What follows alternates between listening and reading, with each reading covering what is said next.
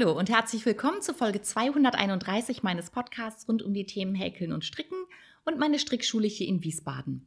Ich bin Kiko und heute ist der 17. Mai 2024.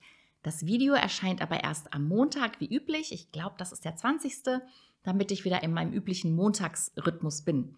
Aber da ich jetzt nach dem Urlaub recht viel zu zeigen hatte, habe ich gedacht, kann ich schon ein paar Tage vorher aufnehmen. Dann habe ich ähm, sozusagen für die nächste Woche auch ein bisschen mehr Zeit. Und ähm, genau, dadurch wird es heute aber auch von der Auswahl der Projekte ein bisschen anders aussehen. Also eine ganze Handvoll ist nicht mitgekommen. Und ich erzähle dann nur von den Sachen, fast nur von den Sachen, die ich im Urlaub dabei hatte. Aber bevor wir dazu kommen, erstmal zu dem, was ich anhab. Und ich habe natürlich meinen wunderschönen Double Face Remember Cowl Loop von Nathan Taylor, dem Sockematischen, an.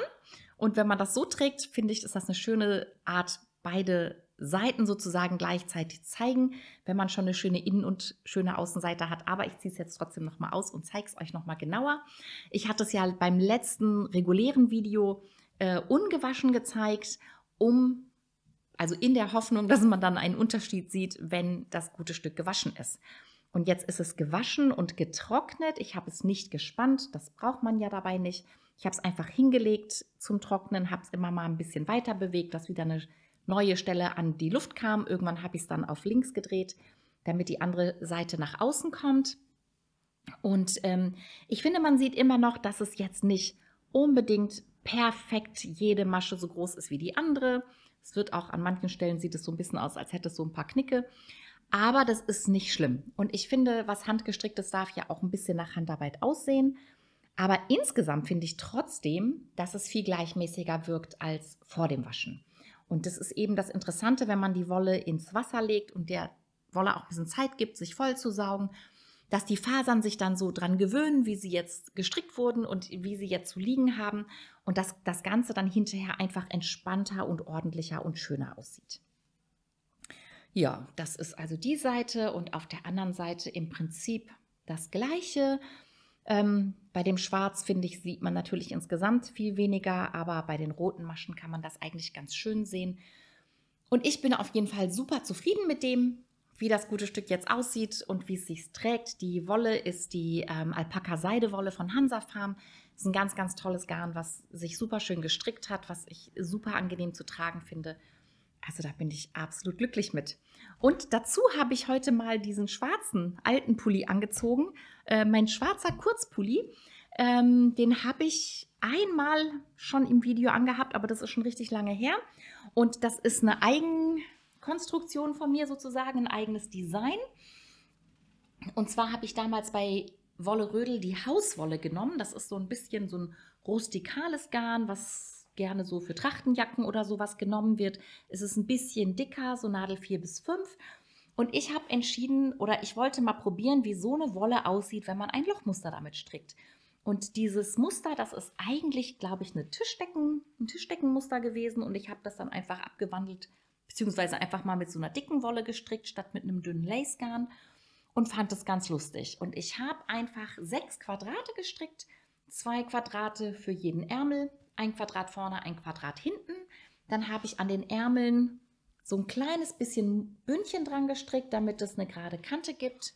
Habe vorne und hinten, habe an der unteren Kante ein bisschen ein Bündchen gestrickt und oben habe ich kein Bündchen gemacht, sondern ich habe einfach das Quadrat ein kleines bisschen umgeschlagen und festgenäht.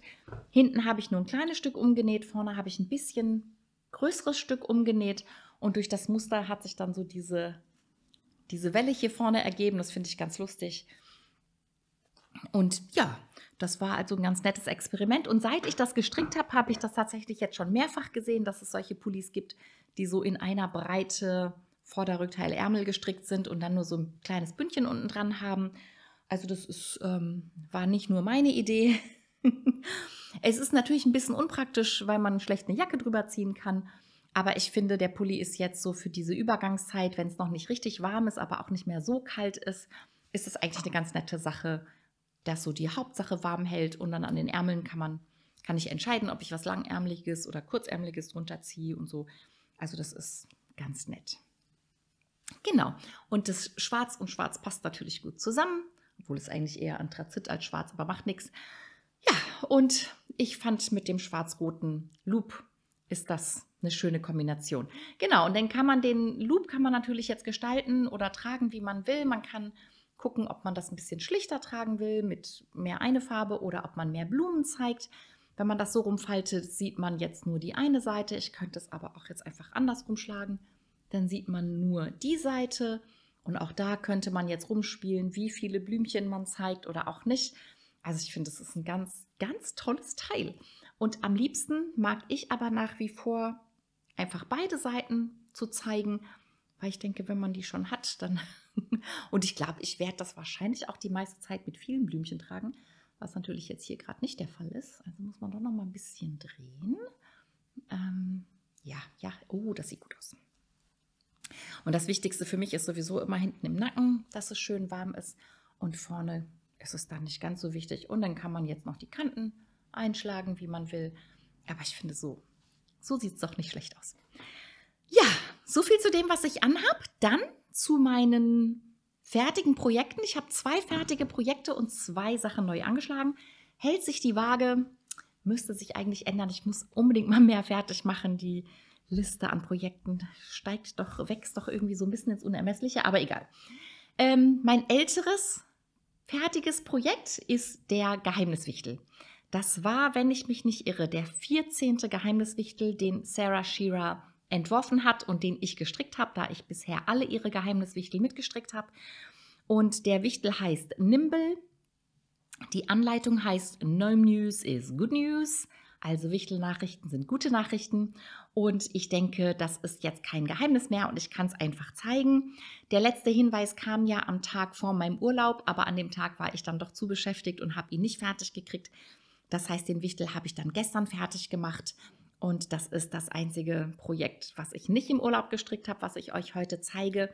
Und so sieht der kleine Kerl aus. Und so sieht es ein bisschen aus, als würde er so in die Weite gucken. Aber ähm, der, die Anleitung ist so geschrieben, dass man hier die Hand und die Mütze zusammennähen kann, als würde er da seinen Zipfel festhalten. Und der Arm ist irgendwann bei mir aus Versehen da oben gelandet. Und ich fand, das sieht so ein bisschen so aus, als gäbe es einen kräftigen Wind. Und er hält sowohl hier als auch hier seine Mütze fest. Das fand ich ganz lustig.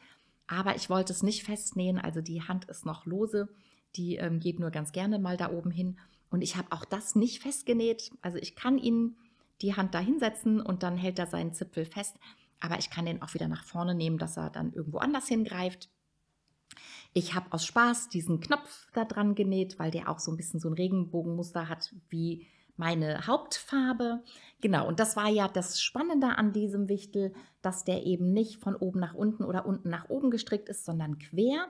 Und durch diese Weise kriegt man bei selbststreifender Wolle nicht so große Unterschiede in den Streifen, als wenn man ähm, von einem schmaleren Umfang zu einem größeren oder umgekehrt strickt.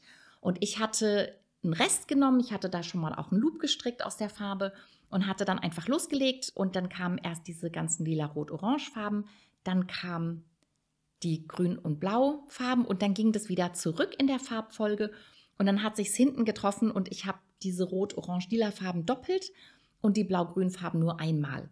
Und theoretisch wäre das jetzt vorne gewesen an meinem Wichtel, aber ich wollte nicht, dass der Bart so viel von dem Blau verdeckt und ich wollte auch nicht, dass man nur einen Teil der Farben sieht. Auf der Seite sieht man eben nur diesen Teil, von hier sieht man nur den Teil und ich wollte gerne die Mitte so haben, dass man alle Farben im Prinzip sehen kann. Bei den Ärmeln, äh, bei den Armen habe ich dann ähm, einmal das Ende vom Knäuel genommen und einmal das Ende vom Knäuel genommen. Und es war dann eigentlich Zufall, dass das so super passt, dass das jetzt mit rechts und links genau die gleiche Farbe hat wie der Körper. Das finde ich total lustig. Und achso, hier unten habe ich jetzt die Kontrastfarbe genommen. Da sollte man eigentlich oder könnte man die Hauptfarbe nehmen. Aber ich dachte, das sieht man sowieso nicht. Und dann wollte ich mir bunte, den bunten Rest lieber noch aufheben für entweder noch ein Wichtel oder noch was anderes. Und habe dann die Kontrastfarbe genommen. Und die Füße, da gab es jetzt auch zwei Möglichkeiten. Man konnte eben diese Füße so annähen, dass der Wichtel steht. Oder man hätte die Füße so senkrecht an den Körper annähen können. Dann hätte es so ausgesehen, als würde der Wichtel sitzen, hätte die Beine nach vorne gestreckt und man würde auf die Fußsohlen gucken. Das sieht auch total lustig aus. Mache ich vielleicht beim nächsten Mal, aber bei diesem wollte ich lieber, dass er steht. Und bei den Füßen gab es ja so ein Stück mit Kraus rechts und ein Stück mit glatt rechts. Und ich habe das jetzt so genäht, dass das glattrechte unter dem Körper ist und das krause vorne zu sehen ist. Und ich finde, das sieht total lustig aus. Und ich bin super, super glücklich und zufrieden mit meinem Nimble und finde den ganz, ganz niedlich. Genau. Und die Krempe, das ist wieder eine Biese. Biesen gab es irgendwie letztens, ich glaube, bei der einen Sock Madness Socke auch. Also das ist eine ganz schlaue Art, finde ich, hier die Hutkrempe ähm, zu gestalten, ohne dass man eben neu anschlagen muss. Ähm, das ist auch wieder sehr schlau gelöst. Ach ja, und noch was. Ich hatte letztes Jahr so ein bisschen das Gefühl, dass es weniger Geheimniswichtel im Jahr gab als sonst und war schon so ein bisschen gespannt, was Sarah so treibt und äh, was sie so im Hintergrund äh, macht. Und jetzt ist es rausgekommen und zwar hat sie ein Buch geschrieben, ein Buch über Wichtel. Ich weiß gar nicht, ob ich das im letzten Video schon erwähnt habe, aber ich glaube nicht. Auf jeden Fall kann man das Buch schon vorbestellen. Es ist noch nicht erschienen. Es erscheint, glaube ich, im September. Das Buch wird gleichzeitig auf Deutsch und auf Englisch erscheinen. Das heißt, Wichtelanleitung gibt es ja sowieso immer auf Deutsch. Also das ist schon mal für die, die nicht gerne auf Englisch lesen und stricken, eine gute Sache. Aber für alle, die nicht gerne elektronische Anleitungen kaufen, die nicht gerne übers Internet kaufen, die können sich jetzt ein Buch kaufen. Und in dem Buch gibt es, jetzt habe ich vergessen, wie viele, sechs oder acht verschiedene Wichtel. Und ich glaube, ich glaube, es sind acht. Und ich glaube, vier davon sind fest ähm, gestaltete, designte äh, Wichtel. Und ich glaube, bei den anderen vier kann man Mix and Match die äh, verschiedene Hüte, verschiedene Körper, verschiedene Arme, Bärte, was weiß ich alles, kann man sich, glaube ich, jeweils zusammenstellen. Also ich bin super, super gespannt drauf. Ich habe natürlich das Buch schon vorbestellt und äh, freue mich schon total drauf, wenn es erscheint. Dann wird es nochmal wieder viele, viele neue Wichtel geben. Ja, so viel zu meinem ersten fertigen Projekt. Mein zweites fertiges Projekt ist gleichzeitig mein erster, mein erstes neues Projekt. Äh, das sind natürlich die ähm, Sock Madness Socken aus der Runde 5. Und zwar heißt die Anleitung Bibliophiles Mark Sock. Und Bibliophile, das sind Buchliebhaber und Mark steht für Lesezeichen und das sind eben die Lesezeichen von dem Buchliebhaber Socken. Und ähm, so sehen meine aus. Ich ähm, hatte die erste Socke, lass mich kurz gucken, das hier ist die erste Socke. Ich hatte die erste Socke fertig hatte vielleicht die zweite schon angefangen, als in meinem Team alle Plätze voll waren. Das heißt, ich wusste, ich komme nicht weiter. Ich hatte dann aber schon die Mindestgröße gestrickt, aber ich hatte noch nicht das Lesezeichen, was eigentlich hier noch runterhängt, gestrickt und deshalb habe ich die dann weggelassen. Also eigentlich sollte man hier noch in dieser Kontrastfarbe so ein Stück runterstricken, was dann wie so ein Lesezeichen runterhängt. Da sollten dann Bändelchen dran und da sollten die Perlen dran. Ähm, wie gesagt, ich war zu faul, das zu machen, aber ich wollte trotzdem die Perlchen an der Socke haben und deshalb habe ich die einfach hier oben an das Lesezeichen dran genäht.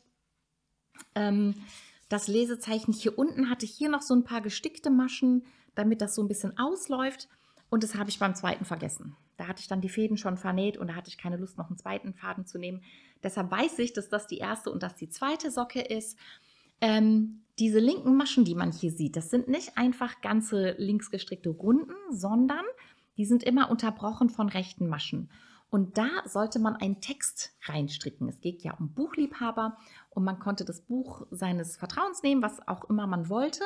Und ich habe mich entschieden, den Psalm 100 hier reinzustricken. Und ich habe bei der ersten Socke habe ich die englische Version genommen und bei der zweiten Socke habe ich die deutsche Version genommen. Und da ich die deutsche Version gerne singe, ähm, habe ich also beim Stricken ständig Musik im Kopf gehabt und viel Spaß dabei gehabt. Das sind also meine Runde 5 Socken. Ich habe sie rechtzeitig in der Zeit fertig gekriegt und meine E-Mail e abgeschickt, sodass ich die, ähm, das Bonusmuster gekriegt habe, was sehr, sehr schön ist. Auch ziemlich einfach für Sock Madness Verhältnisse. Aber ähm, ja, ich freue mich, dass ich das habe. Ich würde es gerne sofort anschlagen. Ich darf nur im Moment nichts Neues anschlagen. Aber ich hoffe, dass ich dieses Bonusmuster auf jeden Fall irgendwann stricken werde. Und ähm, ja, bin froh, dass ich diese Socken fertig habe. Die Runde 6 hat angefangen. Ähm, das ist auch ein sehr faszinierendes Muster mit vier verschiedenen Farben. Ich habe sie noch nicht angefangen. Ich würde sie auch gerne stricken, auch gerne bald. Ich bin am Überlegen, statt vier Farben nur zwei zu nehmen und dafür eine Farbe, aber dann eine bunte Opalwolle zu nehmen und eine, eine, einfarbige Kontrastfarbe dazu. Und dann kriegt man durch die bunte Wolle dann auch noch mal optisch mehr Farben als nur zwei. Und ähm, das könnte auch sehr schön aussehen, das sagt die Designerin selber. Wenn man die Socken nicht innerhalb vom Wettbewerb strickt, ist das eine schöne Möglichkeit, damit rumzuspielen und ein bisschen weniger Stress zu haben. Also das äh, klingt nach einer schönen Möglichkeit. Ja, dann auf zu Sachen in Arbeit. Da geht es gleich mit Socken weiter. Und auch die nächste Socke ist äh, eine Sock Madness Socke. Das ist die Anleitung Three Worlds, drei Welten, die ich reduziert habe auf zwei Welten und deshalb nur zwei verschiedene Farben. Und da habe ich den Schaft als beendet erklärt, also nicht nach Anleitung fertig gestrickt. In der Anleitung hat der Schaft 55 Runden, Musterrunden, die alle unterschiedlich sind natürlich. Und ich habe nach 35 Runden entschieden, es reicht. Man erkennt die Bäume, man erkennt die Äste, die sich im Wasser spiegeln. Meine Schwester legt keinen großen Wert auf riesig lange Schäfte und deshalb weiß ich, dass sie einverstanden ist. Dann habe ich nach dem Schaft die Ferse gestrickt. Das ist eine sehr interessant gestrickte, so ein bisschen verstärkte Fersenwand. Dann das Käppchen. Ich mache das mal kurz raus, dann kann ich das hier zeigen. Das ist das Käppchen. Und dann hat man hier unten in Verlängerung des Käppchens ein so, so ein Karo-Muster und da werden die Abnahmen gemacht, die Zwickelabnahmen. Die sind also nicht seitlich am Bein, sondern unten unterm Fuß. Und diese Maschen, die jetzt in diesem Karo-Muster gestrickt werden, die werden alle weg äh, abgenommen sozusagen. Ähm, und rechts und links neben der Fersenwand, da entsteht jetzt so ein Muster, das aussieht wie Fischschuppen. Und diese Maschen bilden dann nachher die Sohle, wenn diese Maschen weg sind. Und oben auf dem Fuß, da ähm, geht es jetzt weiter mit dem Fischkopf. Das heißt, diese Socke kriegt den Fischkopf und die andere Socke kriegt den Körper. Also die Socken muss man immer richtig rum anziehen. Ansonsten hat man einen zweigeteilten Fisch. Das wird, glaube ich, nicht so schön. Und ähm, genau, das Muster, das, dieses Fischschuppenmuster, das ist jetzt nicht so kompliziert, weil sich es auch wiederholt und weil man keine äh, Leatherback Jacquard extra Maschen hat. Aber hier vorne ist es jetzt so, dass im Moment fast alle Maschen blau sind und der Fischkopf fängt hier an. Also ich glaube, drei Maschen von dem Fischkopf habe ich schon. Der Rest ist blau und damit das mit dem grauen Faden funktioniert, hat man eben hier hinten diese Leatherback Jacquard Maschen, wo man den grauen Faden strickt. Und ähm, ja, ist immer noch relativ aufwendig. Im Moment sind es zwei verschiedene Charts, die man verfolgt. Aber es ist trotzdem einfacher, weil man eben nicht überall dieses sich nie wiederholende Muster hat, sondern nur noch hier oben und hier unten. Das ist recht überschaubar. Von daher ist es zwar noch viel Arbeit, aber es ist nicht mehr ganz so komplex. Es geht jetzt vielleicht ein bisschen schneller. Und, ähm, aber so oder so ist es die Mühe wert und es ist richtig dick und warm. Und ich hoffe und bin überzeugt, meine Schwester wird begeistert sein. So, die andere Socke, die ich in Arbeit habe, da habe ich sehr viel mehr dran gestrickt. Das war nämlich die, das deutlich einfachere Sockenprojekt und das ist die Bigfoot-Socke. und die habe ich fast fertig. Ich hatte das Sockenbrett nicht mitgenommen, weil es nicht mir gehört. Wollte ich einfach nicht das Risiko eingehen, dass es kaputt geht oder verloren geht oder wie auch immer. Und, äh, und habe dann an dem Fuß fröhlich einfach immer nur rechts gestrickt, bis ich dachte und gemessen habe, dass es so passen könnte. Dann habe ich die Spitze zum größten Teil gestrickt, aber dann habe ich mich nicht getraut weiterzumachen, einfach aus Sorge, dass es nicht passt. Und dann wäre es mühsamer aufzuribbeln, wenn man die Spitze schon beendet. Deshalb habe ich noch die letzten Maschen draufgelassen und habe es jetzt anprobiert und es ist fast perfekt. Es ist ein Hauch groß, aber nicht viel.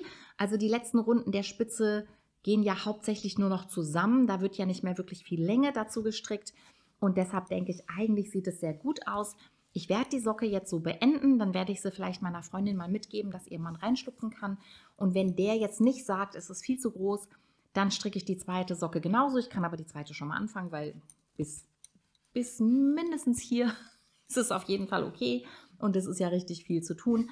Und ähm, ja, ich habe hier auf der Seite die ganzen Maschenmarker, alle 20 Runden, damit ich nicht immer so viel zählen muss. Hier ist auch noch einer, den sieht man nicht gut. Der ist sehr dunkel. Ja, aber das ist die Bigfoot-Socke Nummer 1 fast fertig. Und dann kann ich mit Nummer 2 loslegen. Genau, die Farben ist einmal die Abo-Farbe und dann ein Rest Sechsfachwolle von Opal. Ja, so viel zu den Socken. Und dann hatte ich als zweites einfaches und kleines, gut mit rumzutragendes Projekt ja die Beinstulpe angefangen, weil ich diese neue Stricknadel ausprobieren wollte, die ich geliehen bekommen habe. Da habe ich ja aus dieser Farbe der Paradise-Serie in sechsfach von Opal eine ganz schlichte zwei rechts, zwei links Beinstulpe angefangen. Und da habe ich dann gestrickt und gestrickt und gestrickt und gestrickt und gestrickt und gestrickt. Und dann habe ich abgekettet. Und ich bin ganz glücklich und stolz auf mich, dass ich tatsächlich so lange durchgehalten habe und nicht aus Faulheit dann schon früher aufgehört habe. Ich habe festgestellt, diese Beinstülpe ist auch wunderbar als Armstülpe zu tragen und sie passt mir im Prinzip am ganzen Arm. Also da kann ich wunderbar jetzt Arme, lange Armstülpen, nicht Arme Langstülpen tragen. Und sie passen aber auch hervorragend an meinen Unterschenkel. Ich kann meinen gesamten Unterschenkel reinpacken, kann das dann noch so ein bisschen shoppen, ein bisschen so knäulen oder ich kann es ein bisschen hochziehen und ich kann es sogar noch ein bisschen übers Knie ziehen, falls ich mal kalte Knie habe und bin super glücklich. Ich hatte die erste Stulpe mit Grau angefangen, habe dann mit Rot abgekettet und habe dadurch die nächste Stulpe mit Grün angefangen, habe jetzt drei unterschiedliche Kanten, was ich ganz lustig finde. Ach so, und so viel habe ich schon von der zweiten Stulpe. Und bei der zweiten Stülpe habe ich jetzt gesagt, es ist eigentlich egal, mit welcher Farbe ich aufhöre. Im Prinzip will ich einfach die gleiche Länge stricken. Es sind übrigens 155 Runden. Ähm, die eine Farbe, die mir noch fehlt, ist Blau. Also sollte es genau auf Blau enden, wäre es perfekt. Wenn es jetzt nur ein, zwei Runden mehr oder weniger auf Blau endet, mache ich das vielleicht, weil bei der Länge fällt es sowieso nicht auf, ob das exakt gleich viele Runden sind. Aber wenn nicht, dann nicht. Also ist auch nicht schlimm, wenn eine Farbe sich jetzt wiederholt, weil die Kanten sieht auch nicht wirklich irgendjemand. Von daher wäre das nur eine Spielerei für mich. Ja, aber da ist richtig viel passiert. Bin ich sehr glücklich und zufrieden. Bleibt vielleicht auch nicht die letzte Stulpe in der Art.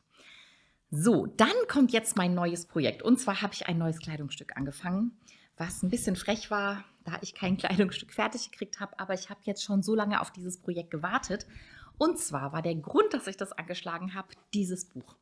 Das Buch heißt Schwedische Strickjacken für jede Jahreszeit von Maja Karlsson, ist im Stiebner Verlag erschienen und ich habe es vom Stiebner Verlag auch bekommen, ähm, also für umsonst bekommen, um es äh, zu benutzen und hier zu zeigen. Und das ist ein wunderschönes Buch und ich habe, wie gesagt, schon sehr darauf gewartet, das Projekt anzuschlagen. Ähm, in dem Buch gibt es 20 Strickjacken, die auf die Jahreszeiten sozusagen sortiert sind. Für Sommer und Frühling gibt es jeweils vier Jacken, für Herbst und Winter jeweils sechs Jacken, was ja auch ganz sinnvoll ist, da man da vielleicht noch mehr Jacken trägt. Das Buch ist einfach als Buch wunder wunderschön gemacht. Also es ist relativ dick und groß, relativ schwer, aber es ist wunderschön gemacht. Also einfach das ganze Material, was benutzt ist und vor allem die Bilder in dem Buch sind einfach wunderschön gestaltet. Und es gibt nicht nur hier auf dem Cover, es gibt regelmäßig auch Bilder, wo überhaupt gar kein Strickzeug zu sehen ist, einfach weil es schöne Bilder sind, weil es die Jahreszeit repräsentiert. Ähm, und auch die Bilder mit Strickjacken sind einfach unglaublich schön gestaltet. Das Buch ist ganz hochwertig produziert also das macht einfach Spaß anzugucken und durchzugucken, egal ob man die Sachen strickt oder nicht. Aber im Zweifelsfall bekommt man auf jeden Fall Lust, die ein oder andere Jacke daraus zu stricken.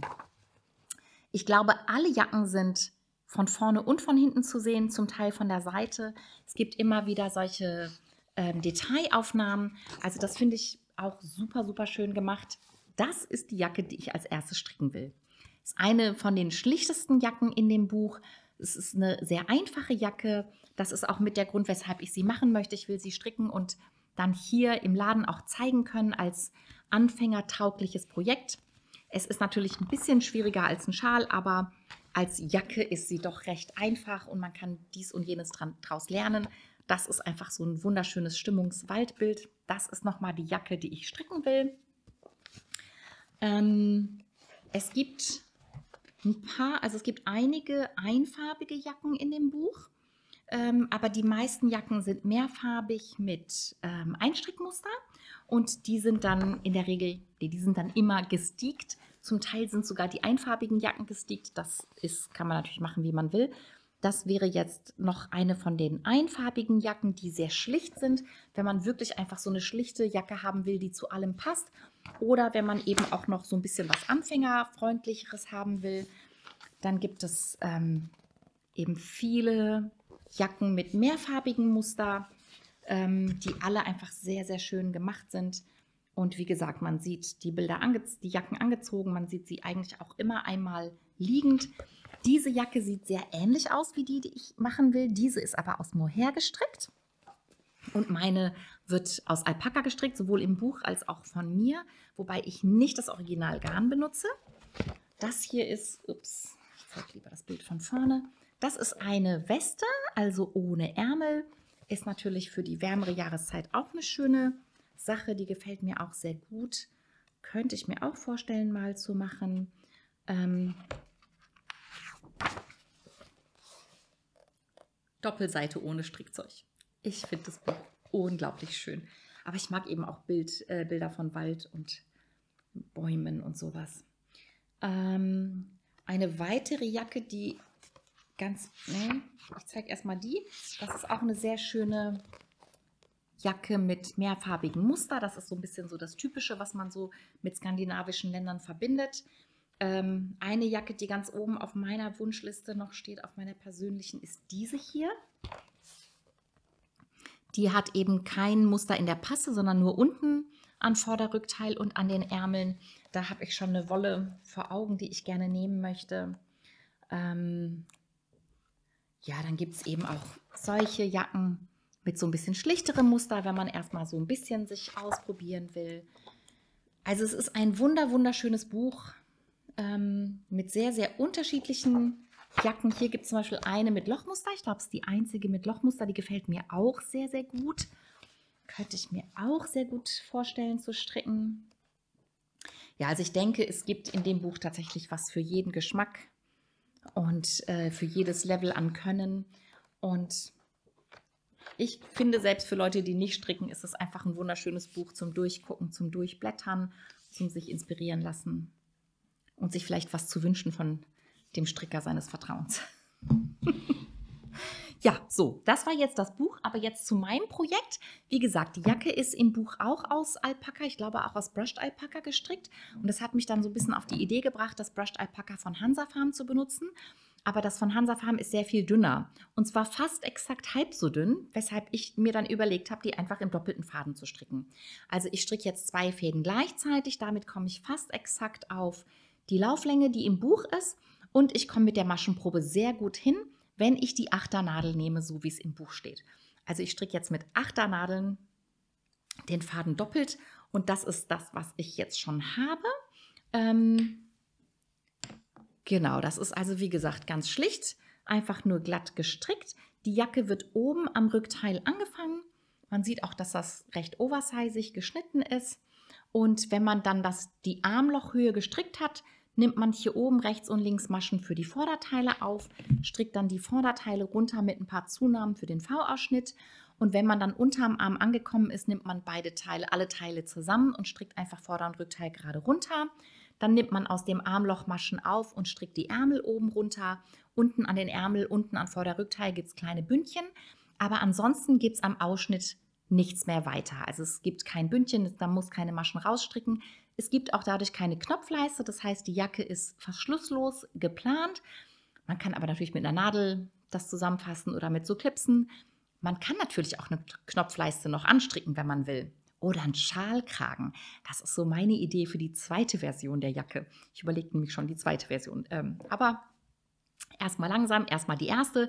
Die erste Version will ich möglichst genau nach Anleitung stricken, damit man sieht, wie das rauskommt, wenn man das strickt. Und ähm, wie gesagt, dass ich ein schönes Projekt für mutige Anfänger habe oder für Fortgeschrittene, die was Schlichtes, Einfaches nebenbei stricken möchten. Und was man übrigens auch toll machen kann, ist, wenn man schon den Faden doppelt nimmt, dass man zum Beispiel, wenn man zwei verschiedene Farben nimmt und wenn man dann noch die Farben abwechselt oder so, dann könnte man so einen Farbverlauf reinstricken oder bunte Streifen oder sowas. Es gibt viele Ideen. Ich stricke sie jetzt erstmal einfarbig. Genau, das war also mein zweites neues Projekt und das, was noch in Arbeit ist. Dann jetzt noch zu den Sachen, die ihr schon kennt, die ich aber auch im Urlaub weiter gestrickt habe. Und da komme ich zu meinem anderen Projekt aus dem Brushed Alpaca. Das ist ja mein Waldtuch, mein Kuschelwaldtuch. Das ist das Squiggle und Stripe von Stephen West. Da stricke ich die Wolle einfädig. Und ich hatte ja den Mittelteil mit den vier verschiedenen Farben vor dem Urlaub fertig gekriegt und habe dann irgendwann im Urlaub die Maschen aus dieser längeren Kante rausgestrickt und habe dann in dem Beige und dem Braun angefangen, dieses Streifenmuster zu stricken. Und ich habe jetzt auch extra das lange Seil drin gelassen. Jetzt erkennt man die Form von dem Tuch schon ganz gut. Also das wird ein Dreieck und da unten, das wird die Spitze des Dreiecks. Hier oben, das wird die obere Kante. Und wenn man hier die Maschen rausstrickt nachher, wird dann die zweite Spitze gestrickt. Und das ist eben auch eine Spitze. Und ähm, ja, die Streifen werden hier mit verkürzten Reihen gestrickt. Das heißt, hier über diese Maschen stricke ich jetzt im Moment nicht mehr weiter drüber. Äh, und durch die zwei Farben sieht man auch immer ganz schön, wo man umdrehen muss. Und gleichzeitig wird an dieser Seite wird alle zwei Reihen eine Masche zugenommen, sodass das Dreieck eben auch so in dieser Form bleibt. Und jetzt muss ich noch ziemlich viele weitere Reihen stricken, damit das Tuch eben die richtige Größe und die richtige Form kriegt. Und das kann man jetzt aber, oder das kann ich jetzt so relativ mindless wieder vor mich hinstricken. Nachdem die Maschen einmal rausgestrickt waren, ist das recht einfach. Das Umdrehen ist sehr offensichtlich, wo man dreht. Und diese eine Masche Zunahme am Anfang ist, also an dieser Kante ist auch kein großes Problem. Und dann entsteht automatisch hier wieder dieser zweifarbige I-Cord, der ist ganz nett. Ich bin mal gespannt, ich habe noch gar nicht geguckt, wie der I-Cord dann hier beim Abketten aussehen wird. Ähm, da lasse ich mich noch überraschen. Ja, und wenn ich das dann irgendwann fertig habe, kommt dann noch der kleine Zipfel. Also da ist noch ein bisschen was zu tun, aber das macht, wie gesagt, unheimlich viel Spaß. Die Wolle strickt sich total schön und es ist super, super schön und angenehm und leicht. Das ist das eine Tuch und das andere Tuch, was ich während des Urlaubs gestrickt habe, ist der Mystery Knit Along von Susanna IC, das Bloom-Tuch. Da habe ich nicht ganz so viel dran gestrickt, weil ich mich da eben doch deutlich mehr konzentrieren musste mit dem Lochmuster und noch dem Perlen einstricken. Das ist auch nichts so für unterwegs. Das habe ich dann doch mehr so ähm, dann im Hotel oder so gemacht und definitiv nicht im Auto. Da habe ich ähm, jetzt mehrere Wiederholungen von dem äh, von der Strickschrift im ersten Hinweis gestrickt. Inzwischen sind alle Hinweise raus. Ich denke, inzwischen wissen alle, wie der Anfang aussieht. Ich habe mir den zweiten Hinweis schon mal angeguckt, aber den dritten und vierten noch nicht. Da lasse ich mir selber noch so ein bisschen das Geheimnis von dem Geheimnis miteinander stricken. Und ich habe mir auch noch kein fertiges Tuch angeguckt. So sieht jetzt erstmal mein Anfang aus.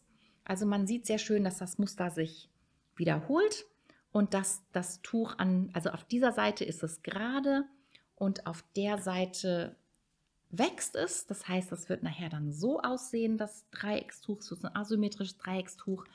Und man sieht, wenn man genau hinguckt, dass immer hier an den Stellen, an diesen Spitzen sozusagen, sitzt eine kleine Perle.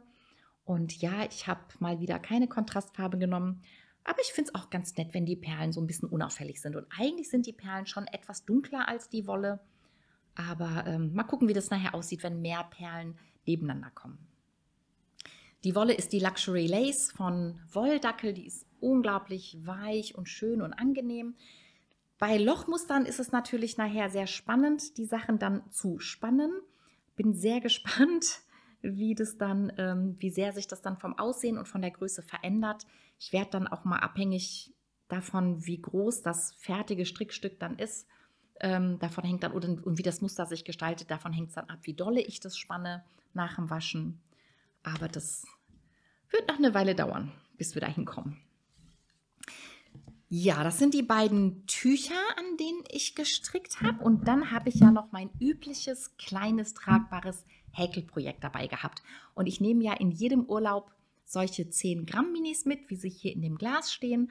Und häkel dann aus jedem Mini ein kleines Quadrat und die sehen dann ungefähr so aus. Bunt mit ein bisschen grün und quadratisch. Und bei den meisten Quadraten habe ich so ein bisschen was übrig. Ähm, zum Beispiel auch das. Manchmal, wie bei diesem, reichen die 10 Gramm nicht.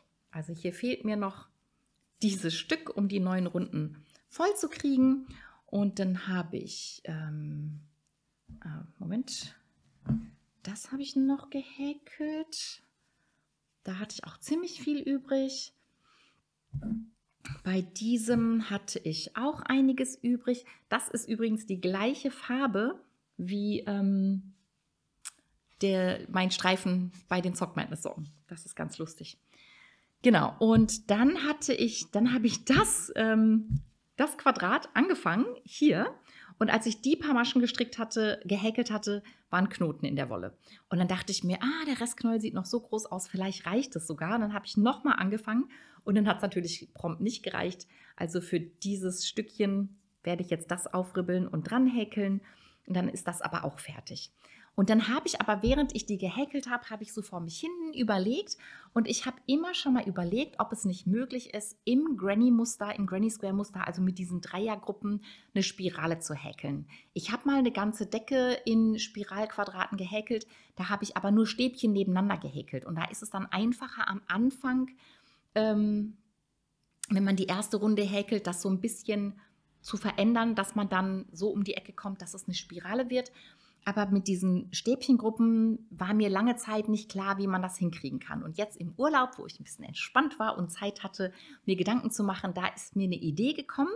Und dann habe ich das mit diesem wunderschönen Mini-Knäuel ausprobiert und habe tatsächlich ein Granny Square Spirale gehäkelt. Das ist am Anfang, super, ähm, als ich das gehäkelt habe, war das so ein bisschen schief und schepp. Wenn man genau in die Mitte guckt, sieht man auch, dass es nicht ganz aufgeht, dass es so ein bisschen komisch aussieht. Aber dann, dadurch habe ich es eben hingekriegt, dass ich jetzt keinen runden Anfang und Ende habe. Und ich habe jetzt hier einfach nur aufgehört, weil ich diese neuen Runden fertig habe, mit denen ich für die Decke alle Quadrate häkel. Und ähm, aber ansonsten hätte ich immer weitermachen können und alle Farbverläufe und alle Streifen gehen einfach immer weiter und werden nicht irgendwo abgehackt äh, und, und bilden so eine Stufe. Also bei, ähm, bei dem sieht man das jetzt nicht so gut, aber hier zum Beispiel ist das Blau ging bis hier und ist dann hier hochgesprungen. Und äh, wenn man diese runden Anfang und Ende hat, dann passiert das immer mal. Entschuldige, dass ich an den Computer gestoßen bin. Und bei den Spiralen passiert es eben nicht. Und ich habe mir jetzt bei diesem Quadrat gedacht, ich versuche trotzdem, das in die Decke einzufügen. Apropos Decke, falls es jemand noch nicht kennt, das ist die Decke mit meinen ganzen grünen äh, Quadraten, hauptsächlich aus Mini-Knäulen zum Teil, aber auch aus Resten. Da werde ich jetzt natürlich ein bisschen eine Schwierigkeit kriegen, weil ich beim Zusammenhäkeln häkel ich noch mit dem Neongrün eine Runde drumrum und während ich diese Runde häkel, häkel ich dann an die anderen Quadrate dran. Und da werde ich dann so ein bisschen improvisieren müssen, wenn ich dann hier an diese Ecke komme aber ich denke, das wird gehen, das will ich gerne ausprobieren. Aber ich wollte auch gerne das mit der Spirale noch ein bisschen weiter verfolgen. Und dann habe ich mit diesem Mini-Knäuel das Ganze nochmal gemacht. Zum einen wollte ich das nochmal ausprobieren, wie ich zurechtkomme mit diesem Anfang von der Spirale. Und ähm, das war auch am Anfang, wie gesagt, so ein bisschen schief, aber je größer das wird, desto weniger fällt das auf. Und hier bei diesen vielen Farbwechseln ist es auch also nicht offensichtlicher, aber es macht einfach noch mehr Sinn, immer in der Spirale zu häkeln und dann eben so ein Farbstreifen, der an der Ecke ist, dass der dann nicht unterbrochen wird und in die nächste Runde rutscht. Und hier habe ich mir jetzt vorgenommen, werde ich große Opalknäule nehmen, die auch mit, die bunt sind und Streifen haben und was auch immer und will da immer weiter häkeln. Zum einen ist es einfach noch entspannteres Häkeln, weil man nicht auf runden Ende und Anfang aufpassen muss, sondern einfach an jeder Ecke eine Ecke häkelt und immer weitermachen kann. Und entweder wird es dann ein großes Quadrat, was ich so halbiert als Dreieckstuch tragen kann, oder ich mache bezeichne es als Babydecke und verschenke es, oder ich mache eine ganz große Decke für mich. Keine Ahnung, weiß ich noch nicht, was es werden will. Es ist auch noch kein eigenes Projekt, noch läuft es unter Maschenprobe oder Experiment. Und aber sobald ich dann das große Knäuel dranhänge, wird es dann ein eigenes Projekt werden. Und dann werde ich mir ein großes Spiralquadrat im Granny-Muster häkeln. So, und dann fehlt nur noch das übliche letzte Projekt, nämlich ähm, unser Nittelong, wo wir Wendemützen und Haramaki stricken. Und da habe ich jetzt an meinem Haramaki so lange weiter gestrickt, bis ich entschieden habe, dass die Länge jetzt reicht. Ich habe im Moment zwei Nadeln drin, um es anzuprobieren und habe entschieden, das ist gut so. Ähm, hier war mein eventuelle, eventueller Halbzeitmarker. Ich habe also nicht nochmal die ganzen, ich glaube, 80 Runden gestrickt, sondern ich glaube nur noch 50. Ich glaube, das waren immer 20 und dann nochmal 10 oder so ähnlich. Und dann habe ich ein bisschen rum experimentiert, wie ich abkette, damit es schön elastisch ist. und wie ich die Perlchen da reinkriege. Und ich habe mich jetzt entschieden, also ich habe den roten Faden abgeschnitten und habe jetzt entschieden, dass ich nur mit dem grauen Faden, den ich ja innen benutzt habe, ich habe ja zweifarbiges Patent gestrickt, dass ich nur mit dem grauen Faden abkette und zwar mit Jenny's Surprisingly Stretchy Bind-Off. Das ist eine Möglichkeit, sehr, sehr locker abzuketten. Und ich habe das ausprobiert und die Abkettkante ist fast so elastisch wie das Patent darunter.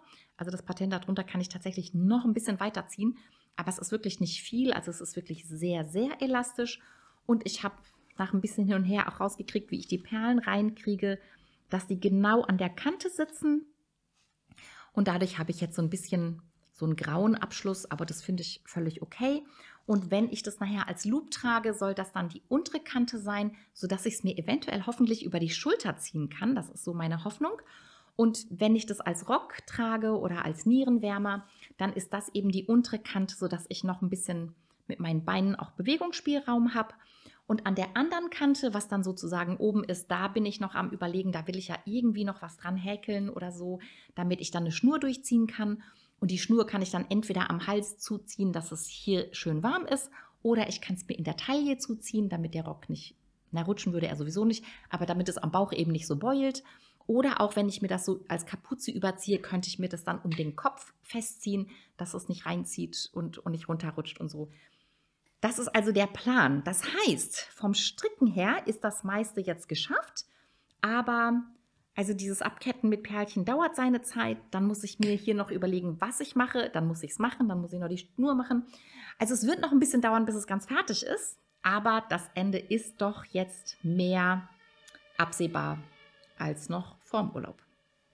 Ja, jetzt habt ihr alles gesehen, was ich im Urlaub gestrickt und gehäkelt habe, plus noch ein bisschen dazu. Ich hoffe, es hat euch Spaß gemacht und ich sage Tschüss, bis zum nächsten Mal. Tschüss!